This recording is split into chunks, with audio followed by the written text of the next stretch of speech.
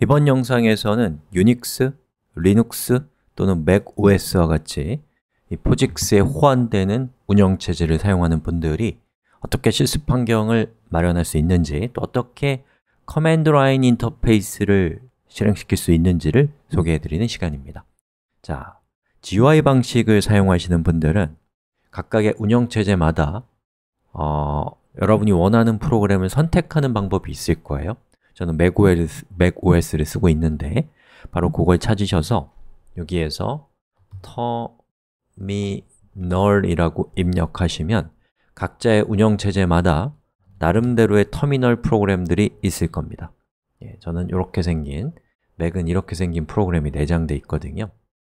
자, 그럼 여러분이 터미널을 키게 되면은 이렇게 뭐라고 입력할 수 있는 화면이 나와요? 거기에서 pwd 하고 엔터 쳐보시면 현재 여러분이 머물고 있는 디렉토리가 나오고 ls라고 하면 그 디렉토리에 있는 파일 목록이 나올 겁니다.